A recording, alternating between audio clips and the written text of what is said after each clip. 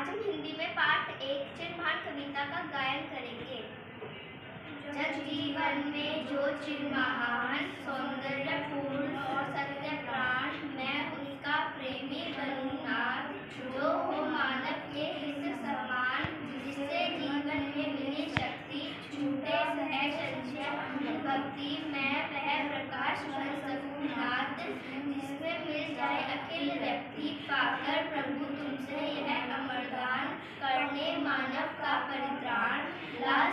Thanks